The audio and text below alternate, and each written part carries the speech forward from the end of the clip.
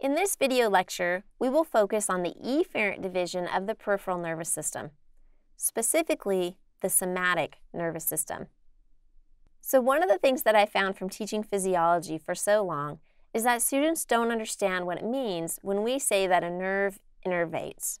So when we say we have a nerve that innervates the eye, for example, that means the nerve is connected to a certain region in the eye, and the eye sends signals via this nerve to the brain.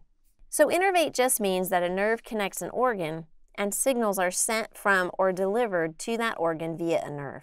So in this example, if I take the sympathetic nerve that innervates the eye, when that sympathetic nerve is stimulated, it will cause the pupils to dilate. Let's focus on the somatic nervous system. So when I said somatic, what effector are we talking about? Skeletal muscle. So the somatic nervous system controls one type of effector, and that is skeletal muscle. Is skeletal muscle voluntary or involuntary? Voluntary, correct? Since we are discussing skeletal muscle and the somatic nervous system, the specific name given to the efferent neuron that innervates the skeletal muscle is the motor neuron. So when you look at the diagram where it says motor neuron, that is a type of efferent neuron. Notice I'm emphasizing efferent instead of saying efferent neuron. It's efferent neuron. That way you understand we're talking about an efferent neuron that takes messages away from the central nervous system. A few other items that you need to be familiar with to understand this module include the following. A muscle fiber, that's the same thing as a muscle cell. Muscle cells are cylindrical in shape. So when you see that term muscle fiber, do not let that confuse you. It's just a cell, and because it's a cell, it has organelles. Next is the motor unit. When you hear the term motor unit, you need to think of a motor neuron and all the muscle fibers it innervates. So with that being said, each muscle fiber is innervated by only one motor neuron. So let's look at motor neuron number one.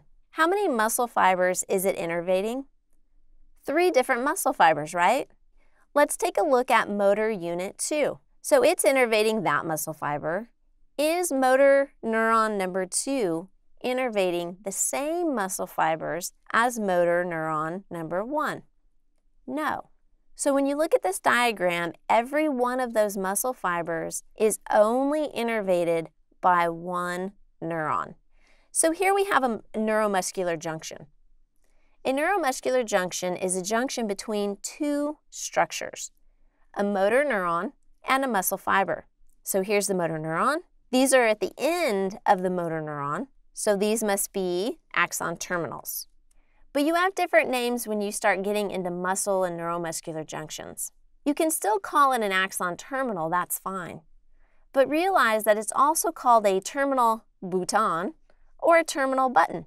So different names, but same structure and same function. All right, so now let's zoom in on a synapse.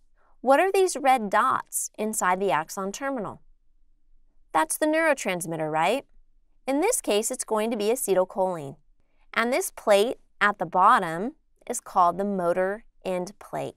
It's part of the sarcolemma, which is the plasma membrane of the muscle fiber. So the motor end plate is only that region that sits right below the terminal button.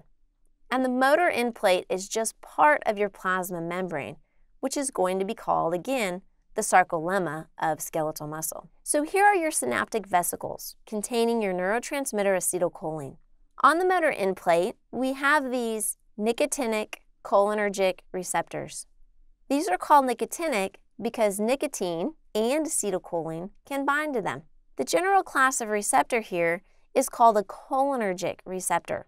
And since ligands bind to them, they are called ligand-gated channels. So is there any other endogenous neurotransmitter besides acetylcholine that can bind to cholinergic receptors? The answer is no. Only acetylcholine will bind to cholinergic receptors. Ligand-gated channels are located on postsynaptic cells. We have also talked about them on cell bodies and dendrites, and now on the motor end plate. Now let's focus on the ligand in this neuromuscular junction. Remember, the ligand is acetylcholine. Acetylcholine binds to nicotinic cholinergic receptors. There are two types of cholinergic receptors, nicotinic and muscarinic cholinergic receptors. When acetylcholine binds to the nicotinic cholinergic receptors, is that going to generate a fast or slow response? Fast. How about when acetylcholine binds to muscarinic cholinergic receptors? Slow response. By slow, does that mean it requires a G protein? Yes.